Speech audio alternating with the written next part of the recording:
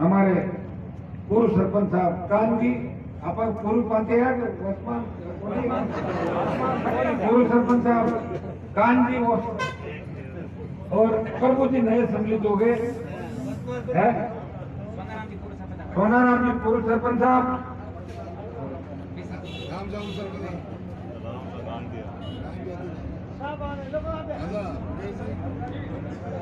सरपंच साहब हिंदी कहीं गए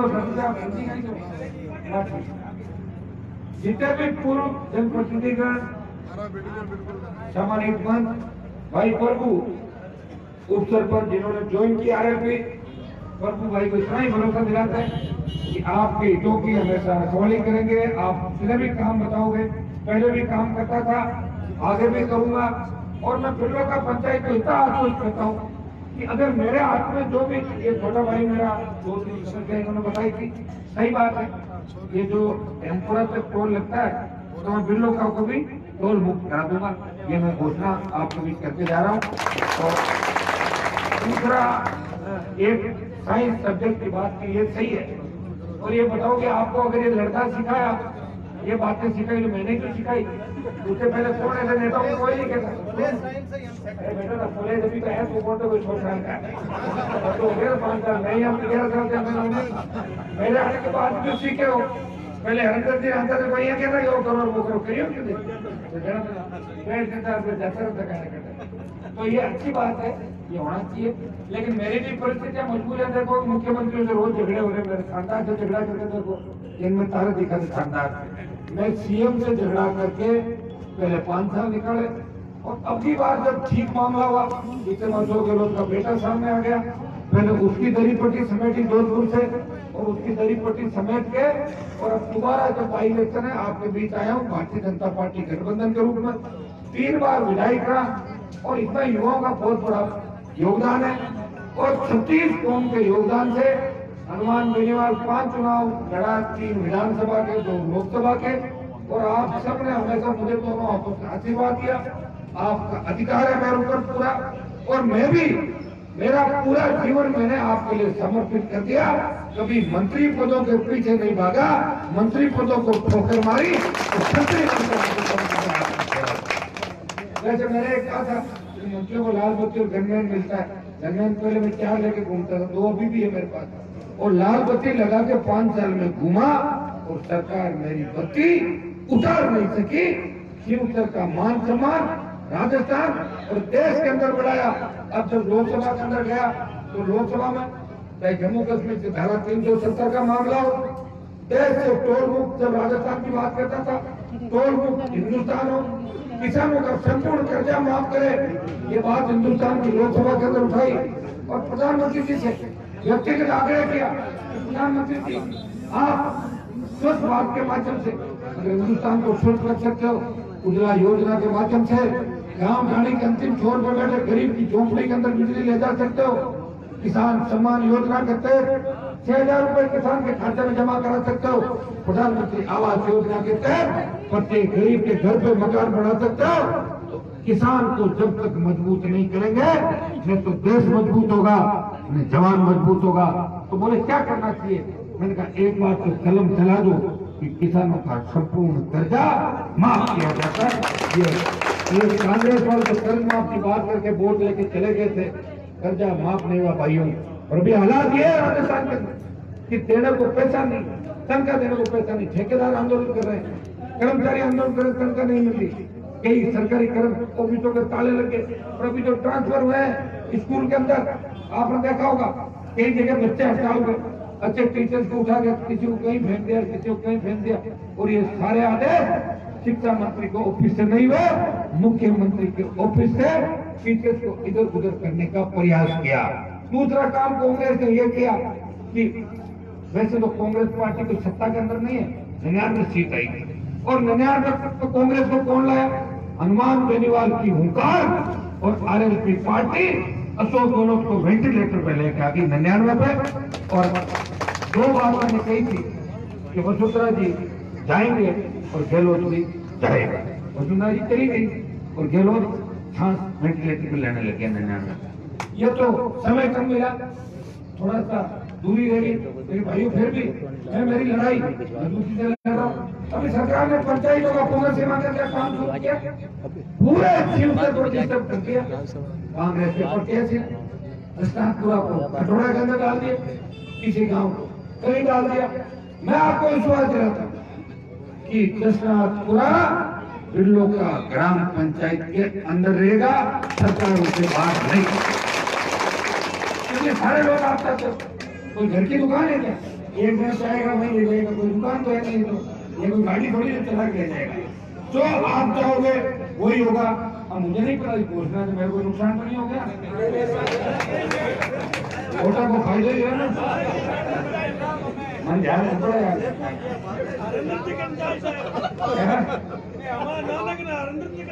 तो कौन जाना बेटे चाय की कौन मैं पाई दूँगा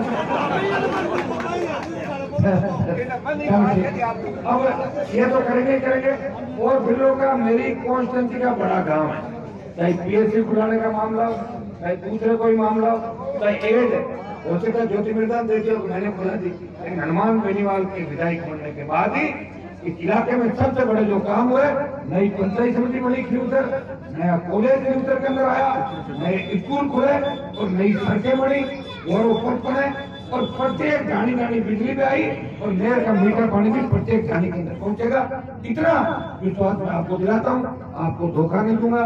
मैं जैसा आज में था ही अब हूँ, और आपका बहुत बड़ा ऋण है मेरे ऊपर। पाँच बार आपने वोट दिए, अगर आप कोई उलाना दोगे, वो भी सुनूँगा। लेकिन जवानों, इस बात का आपको ध्यान रखना है कि राजस्थान के अंदर पीड़ित व्यक्ति के आँसू पहुँचने वाला कोई नेता है तो उसका नाम बताओ। सिर्फ़ एक नेता है जो पीड़ित के आँसू पहुँचता है और पीड़ित के लिए तुरंत सड़क पर बैठ जाता है। वो हनुमान बनिवाल है बंजारों का अपने मालूम हो बंजारों के घर तोड़े गए। बंजारा समाज का कोई ज़्यादा वोट बैंक नहीं है। और जहाँ वोट नहीं होते हैं नेता उस जगह हॉर्न भी नहीं बजाना चाहता, कोई देख लेगा, दो मिनट रुकना पड़ जाएगा। लेकिन मैंने जब प्रचारों के हालात देखे पहले मैंने मेरे दोनों विधायकों इंदिरा जी को और पुखराज जी को घटनास्थल में भेजा। मैं दिल्ली था, ये सुबह सात बजे चले गए। इन्होंने समझाया, सरकार नहीं मानी, बुलडोजर चला, मेरे विधायकों ने लाठियाँ खाई, गरीबों के लिए। फिर मैं, मैंने आंदोलन किया। और सात दिन आंदोलन चला। सरकार को झुकाया और उनके पुनर्वास की व्यवस्था का आदेश राजस्थान की सरकार से कराया मंत्री को नागौर तक बुलाया। पहली बार कोई आंदोलन में समझौता करने के लिए राजस्थान सरकार का मंत्री आया था। आम आदमी गरीब आदमी के लिए मेरा संघर्ष आपके सामने। कर्ज माफ़ी से लेकर जितने भी मामले उठाए, ये हनुमान की हुकार की ताकत थी। पचास हज़ार का कर्जा माफ़ हुआ। स्टेट हाईवे टोल फ्री हुए।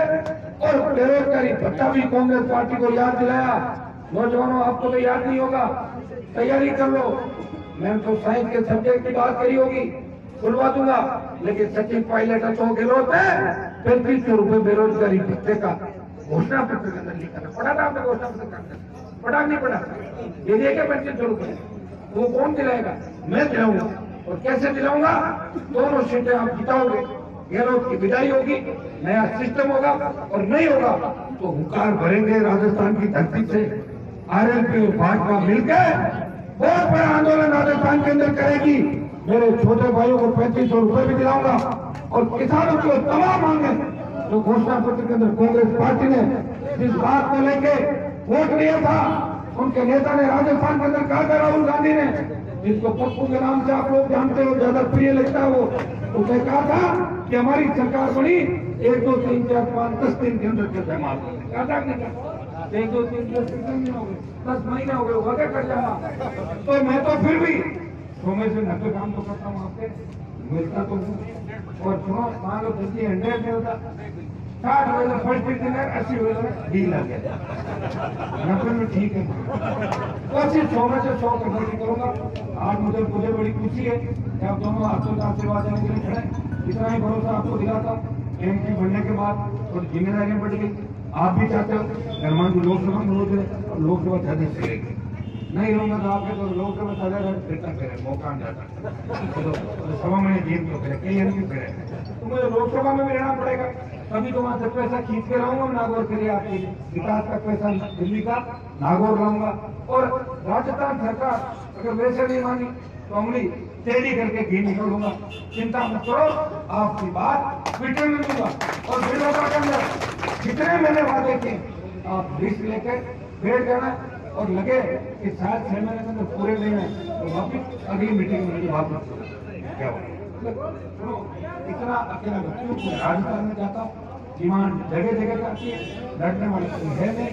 नेताओं की स्विच ऑफ़ नेता चले गए। संगत की क्षमता नहीं एक लड़ाई का राजस्थान के अंदर किसान कौन के सम्मान की लड़ाई लड़ रहे हैं। उस वीर तेजाजी महाराज के जयकर को विधानसभा से लोकसभा के अंदर ले गया और तेजाजी महाराज किसी एक जाति विशेष के नहीं कि हमारी ये तेजाजी तो सारी जातियों के जिन्होंने एक हज़ार पहले गौ माता की रक्षा के लिए अपने प्राण न्यौछावर कर दिए और पूरे देश प्रदेश के अंदर उनकी पूजा होती, किसान कम्युनिटी के तो भाइयों, हनुमान बेनीवाल को छत्तीस कौम को साथ लेके नए राजस्थान के निर्माण की बात करता। मैंने तो अभी लोकसभा गठबंधन हुआ था तब आपने देखा होगा कि जोधपुर के अंदर जब गहलोत तो तमाम मेरे समर्थकों ने भारतीय जनता पार्टी को वोट डाला और 12 से 13 सीटें राजस्थान के अंदर बढ़ा दी।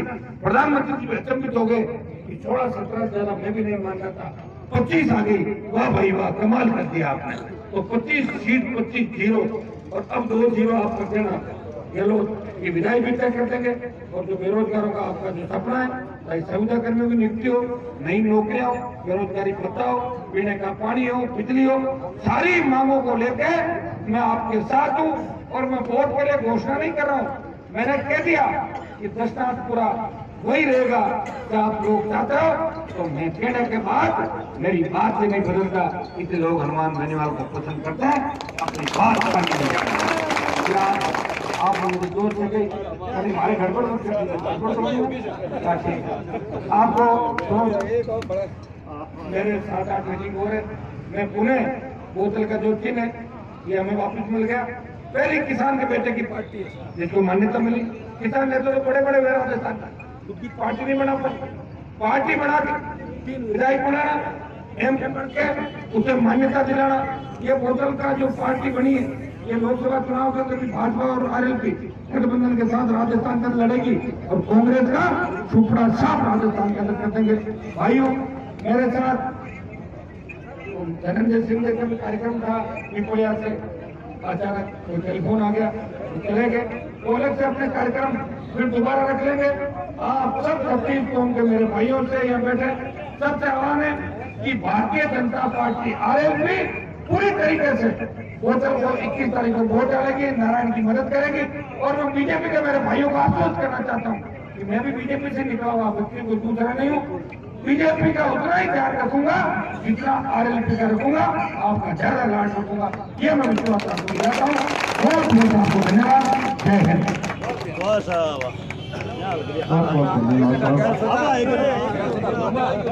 ये लिया फिर हम गिरे